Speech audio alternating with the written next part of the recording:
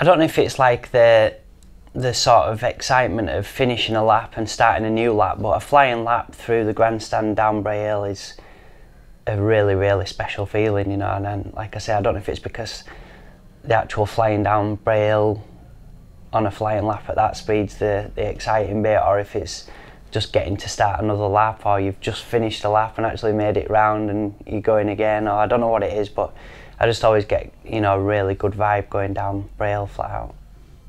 If you look at the sector times, are there areas where you think you can improve still?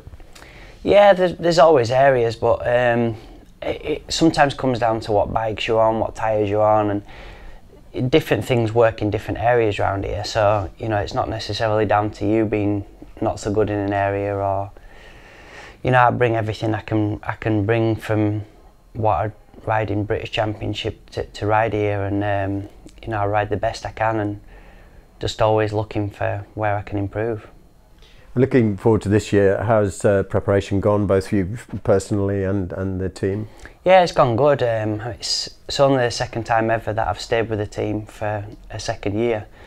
So it's really nice going through winter. I mean, sometimes you, you feel really excited that you've got a new bike for the new season, but I'm, I'm more excited about the fact that I've got the same bike because I know what I've got. And um, going out to Spain, there was no apprehension. You know, this time last year I loaded the van up myself and drove out to Spain early because I wanted to make sure I definitely got on with the bike and you know that I was sharp before the testing started. Whereas this year I knew what my bike was. I got out there, jumped straight on it.